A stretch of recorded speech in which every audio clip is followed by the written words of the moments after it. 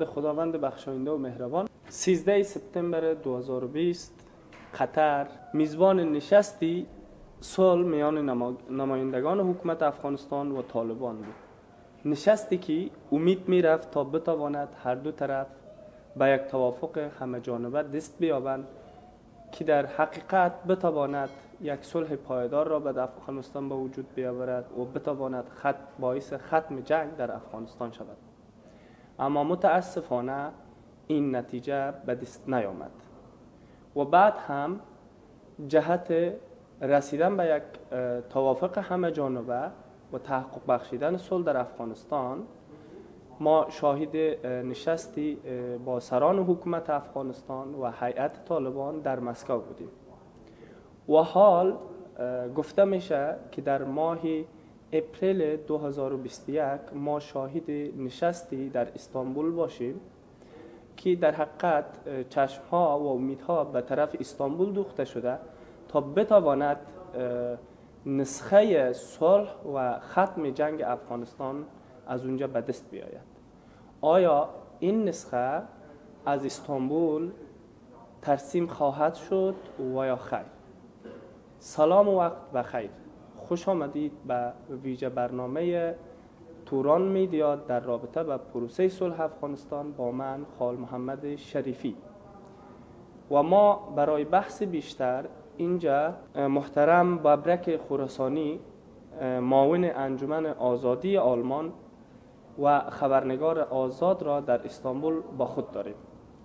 جناب خراسانی صاحب به بحث ما خوش آمدید. تشکر. سلامت باشید. بحث را از اینجا آغاز بکنیم. چرا نشست قطر نتیجه نداد؟ علت کجا بود؟ اول خود سلام خدمت شما و همه بینندگان توران میدیم و نشست قطر با بنبست مواجه شد دلایل مختلف داشت. خواسته ها هماهنگ نشده بود. حکومت افغانستان که در داخل خود افغانستان بود مثلا دستگاه حکومت و چیز صلح پروسه صلح که رهبری آقای عبدالله اینا شورای مصالحت بین خود هماهنگی درست نداشتند و یک همه جانبه و همه شمول نتانستن که به قطر بفرستن و طالبان خواستهای بسیار زیاد داشت. یعنی خواستهایشان قابل پذیرش نبود تا جایی. مثلا برگشت امارات یا حقوق زن یا مسائل مذهب اونا مطرح کردن چون افغانستان یک کشور است که ما اونجا دو مذهب داریم هم مذهب حنفی و هم مذهب جعفری. و اونا مذهب جعفری را رد کردن که در قانون اساسی یا چیزی ذکر نشه از و تنها یک مذهب باشه. این هم یک بخشش بود. و بخش عمده دیگهش که کلید صلح یا افغانستان در دست خود افغان یا طالبان نیست. طالبان استقلال فکری خود یا آزاداندیشی خود ندارن اونا مثلا وابسته هستن و کشورهایی که اسکرشان است و چیزی که مبادر میگه اسکر امور میپذیره دیگه. و ما شما خود مشاهد از بودیم دیدیم که بعد از این پروسه با بنبست رفت. طالبا سفرهای به ایران داشتن سفرهای به پاکستان داشتن سفرهای به مسکو داشتن و چندین جایا. لازم این مشکل بود که شما. آیا فکر می‌کنید نشست مسکو بتواند برای برای تسریع روند پروسه صلح در استانبول کمک کند. بله تا اندازه یک پیش زمینه بود یک زمینه سازی بود به خاطر پروسه استانبول. یک دستاورد داشت برنامه مسکو که حداقل دیدیم که طالبا چی می‌خواین و طالبا سر موضوع سابق خود پافشاری کردن ولی خوشبختانه که امی ترویکا و ترویکای توسعه یافته و امی چهار کشور که دوجه در مسائل افغانستان خیلی زیدخیل هستند و حرف با گفتن داره مثل ایالات متحده آمریکا، مسکو، اتحاد شوروی یا شوروی نو و پاکستان، قطر. اینا در اونجا حضور داشتن و امی چین حتی امی چهار کشور که حرف با گفتن داره یا رد کردن حکومت امارات. و یک نوع آب سرد پاشیدن بود سر طالبا که دیگه شما چانس از نداریم. و یک برد به مردم افغانستان بود که مردم افغانستان حراس از این نداشته باشه که دوباره به سالهای 95 و 96 میرن که باشه حکومت البته 1995 96 که حکومت طالبان در افغانستان بود امارات داشتن. او او نمیشه. همین دستاوردهایی که فعلا دارن دموکراسی آزادی بیان تلویزیون اینا شاید حفظ شوند. پس از دید شما این می‌تونه برای تسریع روند پروسه صلح در, در استانبول کمک بکنه؟ طبیست طبیعی یک زمین سازی بود بر از پروسه استانبول. ولی ما سخنای آقای شتنگزه که شنیدم یک کسی که به صلح میره به این شکل سخن نمی‌زنه. اگر حرف از ای باشه که کی دوجه نفر کشته کی چرا صلح نگفته در 2001 و در 2002 در این وقتا چرا ما صلح نمی‌گفتیم رقم کو آقای اشتنگزی گفت؟ آقای اشتنگزی فراموش کرده که در سال 95 در میدان وردک آمر صاحب مسعود به امرای یک بادیگارد خود حاضر شد رفت با اینا در میدان وردک در مرکزشان مقر بودباششان مقر کمانده و فرماندهیشان امرایشان صحبتهایی داشت در رابطه با صلح چرا او را اینا نپذیرفتن او وقت مگر امرای مسلمان صلح نمی‌خواستن یا داد از اسلام می‌زنن اسلام را که مسعود ربانی یا دیگر کسای پیش می استاد شهید اینا از او کده بهتر مسلمان هستند؟ کدام مسلمانی؟ چرا او وقت صلح نکردی؟ خیلی وقتی که حال کلگی آماده شده به صلح پس گپایی که گذشته او رو بگذاریم به گذشته که تاریخ قضاوت کنه کی اشتباه کرده کی اشتباه نکرده. درست درست, درست. و مسئله دیگه که فعلا مثلا موضوع صلح باید کل ما از بردباری همپذیری هر کی که در گذشته صدای صلح بالا کرد طالبان نابودش کرد. استاد ربانی را شهید ساختن استاد مزاری را شهید ساختن نامه مسعود شهید ساختن. یک لست طولانی. آل باز آمده میگه از صلح چرا او وقت گپ نزدی؟ خو وقت هم گفته بودیم اما شما قبول نکردید. پس رسیدن برای به یک صلح پایدار و ختم جنگ در افغانستان ای هست که ما بتانیم تمام حادثات گذشته رو رویش بله این به تاریخ مسپاریم ما از کشورهای دیگه باید یاد میگم مثلا امیال آلمان 70 80 سال پیش چند میلیون یهود در آلمان کشته شد. هتلر تا امروز یاد می‌کنن از هتلر مردم فراموش نمی‌کنن. اما نه ای که مردم دوباره احساساتی بسازه و دوباره به جنگ تشویق کنه بلکه ایره عبرت میگه بگیره نزی یک مسئله تاریخی است. گذشته افغانستان در طول چهار دهه طبیعی که مشکلات خود داشتن. همون پیچای خود داشته این بدون تا همیال هم دارن. ولی ما تا وقتی که هم پذیر نشیم یکی دیگر را قبول نکنیم عدالت اجتماعی رو در نظر نگیریم. دیگه نمی‌تونیم کشور ما آرام شه. اگر واقعا یک کشور صلحآمیز کشور آرام کشور با نام و نشان می‌خواهیم باید از همپذیر باشیم و باید از گذشته را فراموش کنیم. بفرماییم به طرف آینده. بفرمایید بسم الله پیش نرم و حکومتی که مردم افغانستان قبول کرد بعد از حکومت موقت یا چیز. انتخابات و نرکی که بدر برد نوش جانش اگر مردم قبول داشت حکومت طالبی رو نور میپذیره اگر جمهوریت قبول داشت جمهوریت میپذیره. ولی اگر انتخابات شفاف عادلانه باید باشه. تشکر. یک پرسش دیگه داشته باشم با شما. بله. آیا می‌توان گفت نشست استانبول بتانه یک نتیجه بده برای آینده افغانستان؟ یعنی ثبات سیاسی افغانستان در اوجه بدیست ما بتانیم برای یک آینده بهتر امیدوار باشیم. به نظر من در نشست استانبول خود دو موضوع بسیار مهم مطرح میشه که زمین سازی شده مسکو کردن اونجا رد کردن همی مسئله امارات. اینجا دو موضوع دیگه است. یا حکومت مشارکتی میگن یا حکومت موقت. البته حکومت موقت از نظر ما و شاید به خیر افغانستان است به خیر مردم ماست. دلیلش چیست؟ و این پیش زمین داره این شرایط خود داره حکومت موقت. شرطش است که هر کی که رئیس حکومت موقت میشه او دوباره اجازه کاندیداتور یا اجازه از نداشته باشه در انتخابات شرکت کنه. به دلیل چی که ما تجربه های تلخ کردیم در طول دو دهه 16 سال 17 سال یا هر قدر کس اگر آقای کرزی صاحب بود همه مشکلات حکومت موقت آمد بالاخره توسط تقلب یا سه چهار دوره حکومت کرد. حالا آقای غنی آمد یا هم به تقلب و به دیگر رای مردم ما شما دیدیم که انگشتای مردم بریده شد دیگه شد در انتخابات 2014 و 2019 از او بدتر. اون کلگی شاهد ازی بودیم که انتخابات چقدر گندش برآمد. ولی اگر ما تضمین کرده بتانه ایره جامعه بین المللی همین ترویکا کشورهای توسعه یافته ترویکا اینا تضمین کنن که حکومت موقت شرط لازمی شمی است که رئیس حکومت موقت یا اداره حکومت موقت در آینده خود نتانه کاندید کنه.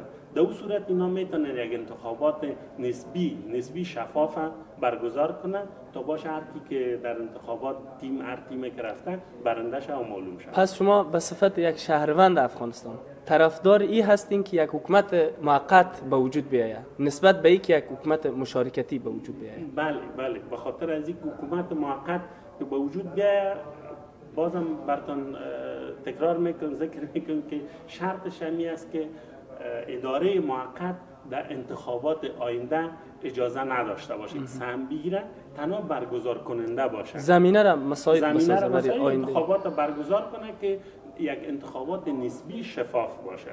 به خاطر از اینکه اگر انتخابات اونا بتانن دوج سم بگیرن باز اون مسئله تقلب است و رایای گوسفندی است و نمیفهم گوسفندا را از دشتا و صندوق پر کردن یا اینمی جنجالا میشه. اما اگر این نباشه اینا نکنه. خب باز یا دلچسبی های خود ندارن. اگرچه دلچسبی های پیدا می‌کنن به او پیمانه که مثلا برای خود می‌کنن شاید بر دیگران نکنن. اگر قرار باشه گفته شما یک حکومت موقتی به وجود بیاید در افغانستان عمر این حکومت باید چند سال باشه؟ فکر می‌کنید چند سال اه، در بر خواهد گرفت تا ما بتانیم یک انتخابات شفاف و عادلانه را برگزار بکنیم و تجارب تلخ گذشته را دوباره تکرار نکنیم؟ من فکر می‌کنم می بستگی برای امی خود روان داره اگر حکومت موقت مثلا یک سال حداقلش حداقلش یک سال حکومت موقت باشن اینا می‌تونن در ظرف یک سال که همه جانبه دیگه گروه های تندروی مثل طالبا فعلا در جنگ هستن آتش بس سرتاسری شود و طالبا بتونن در حکومت اه، د- د- کاندید بتن از خود در انتخابات شرکت کنن و به خاطر دلچسبی خود که طالبا از مشروعیت خود از مردم بگیرن می‌تونه ای اه، یک در ظرف یک سال حکومت امی انتخابات اه، شود برگزار شود. و اگر این اه، اهمیت نباشه ولو که سه سال چهار سال دیگه می حکومت موقت باشه باز برگزار که نمی‌تونه انتخابات شرط عمدهش همی است که همی اه، نشست استانبول اینا را متعقن بسازه که شما در پروسه صلح در پروسه انتخابات در پروسه دولت سازی حکومت سازی هستین شما در اونجا جای دارین. ولی از راه مجرای دموکراسی شما برین آتش بس کنین. یک سال اینی حکومت موقت است.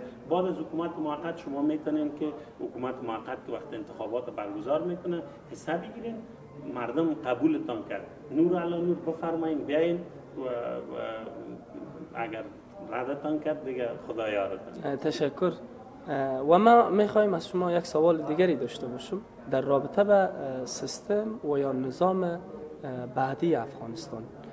فکر می‌کنید کدام نوع سیستم در افغانستان بتونه نتیجه بده؟ در حالی که ما در گذشته در زمان آقای اشرف غنی و یا در زمان آقای کرزی یک نوع حکومت متمرکز داشتیم که قدرت در یک نقط- نقطه جمع شده بود تقریبا تصمیم گیری در یک نقطه بود. و فعلا سیاسیون ما یا روشنفکران ما نظام های مختلف یا سیستم های مختلف را مطرح می‌کنن مثلا نظام سیاسی غیر متمرکز که بتانه در اوجا والیا انتخاب بشه. شاروالی ها باید به انتخابات بره. و حکومت نسبت به اینکه متمرکز باشه غیر متمرکز باشه. برای ولایت ولایت ها باید صلاحیت داده شود تا بتانه اون آزادانه کار بکنه. و یک سیستم دیگه هم از طرف یک تعداد سیاسیون مطرح میشه نظام پارلمانی است فکر می‌کنید کدام این سیستم به نفع آینده افغانستان است؟ ما, ما فکر می‌کنم چون من اکثرا طرفدار فدرال هستم چون در کشورهایی که ما زندگی کردیم مثل آلمان، پاکستان و چندین کشور دیگه را که دیدیم مثال های بسیار خوب از فدرال داریم ما. مثلا حکومت مرکزی فدرال است. چند بخش داره و او آزادی خود داره در قسمت والی ها در قسمت شهر داره در قسمت مثلا رؤسا و یک کابینه خود دارن. باز کلشان جوابده هستند به مرکز یک نوع فدرال است. و در غیر از اگر فعلا مثلا بخش فدرالی یا حکومت فدرالی نباشه اگرچه ایالا- ایالات متحده خود آقای جو بایدن رئیس جمهور آمریکا در می قسمت فدرال یعنی دلچسبی خود نشان داده از سخنهای شازیاش که ما دیدیم اونا گفته سیستمی که در افغانستان شاید فدرال بهتر باشه. ما فکر می‌کنم سیستم فدرالی بهتر است اگر نباشه سیستم غیر متمرکز که قدرت در یک جای نباشه. که بازو نمو تو سلطان میشه دیگه. سلطان گونه میشه. مثل آقای اشرف غنی واره. گپ هیچ کس باور نمی‌کنه. به دموکراسی که خودش در غرب تحصیل کرده تحصیل کرده غرب عمر خود در اینجا تیر کرد. ولی در کشور خود ما کرد متاسفانه دموکراسی را زیر پای کرد قانون اساسی را زیر پای کرد. شهروند برش قائل نیست یعنی بر, بر شهروندا هیچ احترام هیچ نوع چیز به شهروند قائل نیست به نام شهروند. غاصب کردن قدرت یک جمعیت سه نفره یعنی بجای این که فاصلات میان مردم و حکومت کم بسازه زیاد ساخت. برعکس او چی کردن؟ فاصله ها در اینجا در حقیقت از بجای وصل فصل کردن. فصل کردن. اینا آمدن ما اول بسیار خوشبین بودیم گفتیم آقای غنی خوب اگر مرز متفکر دوم نیست یا اسی با ما ربط نه سرش بس نمی‌کنه یک بس جداگانه ولی که در غرب بود در غرب زندگی کرده بود خانمش خارجی است. گفتیم شاید یک چیزایی را آموخته باشه که بره در افغانستان. ولی که رفتیم اون امو فکر کونه فرسوده سالها 80 سال قبل افغانستان فعلا آورده در افغانستان پیاده می‌کنه که من اینجا حکومت می‌کنم. ما چیز امانی را فصل ناتمامش می‌خوایم پیش برادر فصل امانی در وقت 80 سال پیش نتیجه نداد. تو آقای غنی امروز مدرن آمدی یک حکومت مدرن یک جهانبینی مدرن یک روند مدرن به مردم پیش کن پیشکش کن. نه که من 80 سال پشتر برم اگه اون نتیجه می‌داد خودم 80 سال پیش نتیجه می‌داد امروز گل و گلزار بود افغانستان. چرا نیست؟ خیلی به این که نتیجه نداد. وقتی که نتیجه نداد ما باید راهکارهای جدید استراتژی جدید یا مثلا پروگرام های مدرن جدید ارائه کنیم. دقیقا دقیقا. چنین است. در شرایطی که فقر به اوج خود رسیده بیکاری زیاد است. مغزای متفکر ما از وطن رفتن و اوضاع وطن وخیم است. متاسفانه. اما به عنوان پرسش آخر می‌خوایم این مطرح بکنم.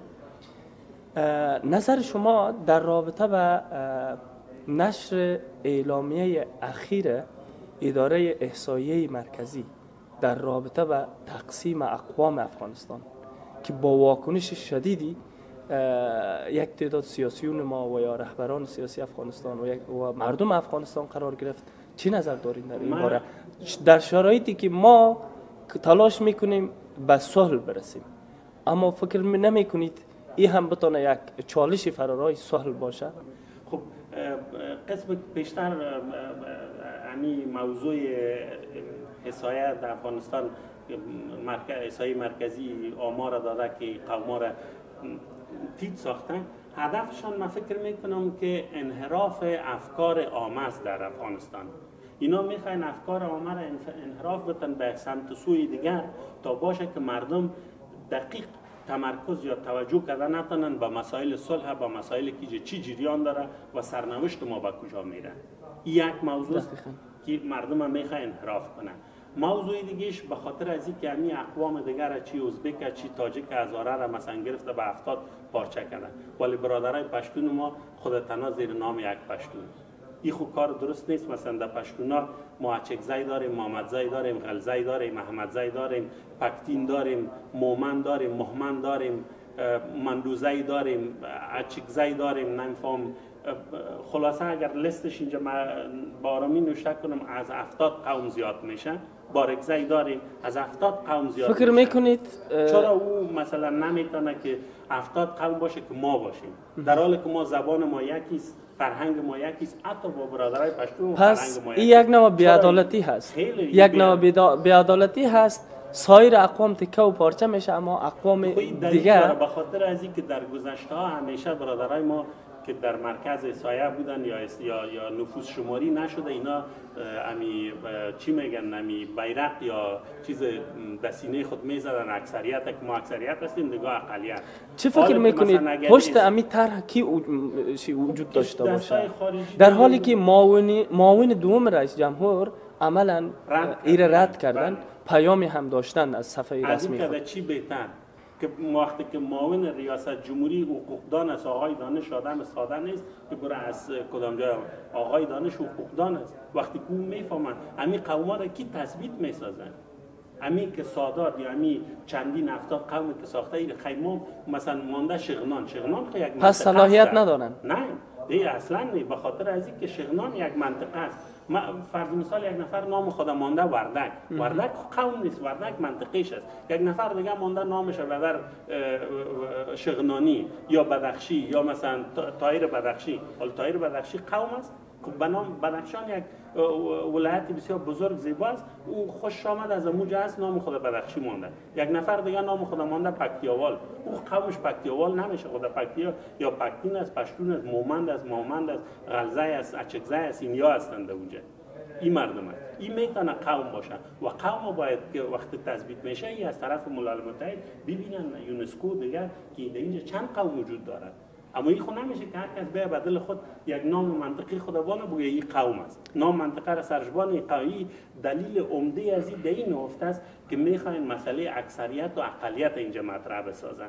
بر, بر جهانیان نشان بده که این افغانستان یک اقلیت های بسیار زیاد است کوچک و یک اکثریت بسیار. این گپ غلط است و این گپ قابل پذیرش نیست. در افغانستان هیچ قوم اکثریت نیست. هیچ قومه نه پس... پشتون اکثریت است نه ازبک اکثریت است نه تاجیک اکثریت است نه ازاره پس ما ما می‌تونیم در افغانستان گلهای رنگارنگ است. اگر ما بخوایم واقعا در کشور ما صلح باشه از این جنایت از این توتیگری ها باید دست بکشه در غیر از او مردم افغانستان چی ازبک ماست چی ازاره چی تاجیک او که 80 سال پیش بود 70 سال پیش بود به او شکل نیست. حال نه محمد گل مومند است و نه کسی می‌تونه مثل محمد گل مومند وارد خطر رفتار کنه. پس ما بتانیم صدای خدا بکشیم.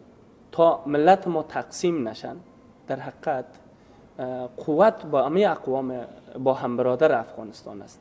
اقوامی که فعلا چنین مورد چنین دسیسا قرار گرفتن اینها چه کار باید بکنن؟ چطور بتانن صدای خود بکشن تا اینکه از این جلوگیری بکنن؟ خب در ما از از رهبرایی که فعلا در افغانستان است از دیگه اقوام از اینا هم گلمند هستیم. به خاطر به یک اعلامیه بسنده می‌کنن. اعلامیه بسنده نیست. اینا قدرت دارن باید بره دفتر دروازه های دفتر احصایی مرکزی رو بسته کنن. تا وقتی که مرد درست نشن از دسیسه دست خود نکشن دفترشون باید بسته باشن. در غیر از این نمی جریان پیدا می‌کنه ولی ما صدا و اگر اونا نکنن باز به هر شکل که باشه و در افغانستان مردم صدای خود می‌کشه. مردم تو نیست که خاموش بگن حالا خو یک ذره پلیسی صلح و دیگه است. مردم دلچسپی داره خوشبینی است که باشه که باشه خدا کنه در کشور ما یک صلح بیاید بازی موضوع دیگه است که از راه دموکراسی از مرجع مرجع گفت و شنود و سخن و پارلمان یا این حل شاید شود. اما اگر مردم ببینه که در آخر خط که دیگر را نمانده از هر گونه از هر گزینه استفاده می‌کنن. چی گونه گزینه مدنی باشه چی گزینه بسلا دست به سلا ببرن دیگه تا از هویت خود دفاع کنن. غیر از اون ما که می‌بینم در این مملکت تو حکومت در دستت است سلا در دستت است کل مردم در سینهش ماندی توتا و پارچه می‌کنی. یعنی چی؟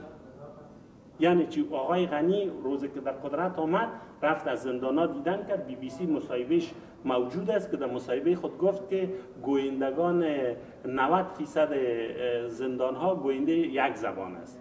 90 فیصد زندانی ها گوینده یک زبان است. آیا به یک رئیس جمهوری که عمر خود در غرب تیر کرده بر شرم نیست؟ مگر امون 90 فیصد که در زندان است او را مد از زندان روان کردیم؟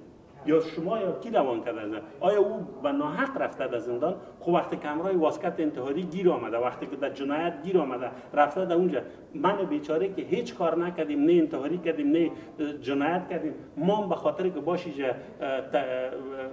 گوینده یک زبان دیگه باشه تعادل برابر شما ما باید برم در زندان. یعنی چی؟ چه مانا داره این؟ به گوش مردم میرسانه که بدن من پشتیبانه شما هستم قوم مسئله قومگرایی دامن زدن قومگرایی. باز اگر دیگه کس بگوین و شما قومگرا هستین.